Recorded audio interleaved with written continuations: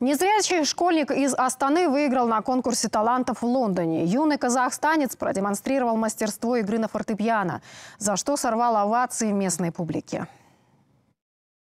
Скажи, что ты сделал?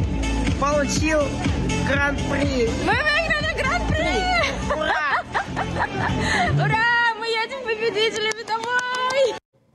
Абылай Мустафин учится в девятом классе. Заниматься фортепиано он начал 6 лет назад.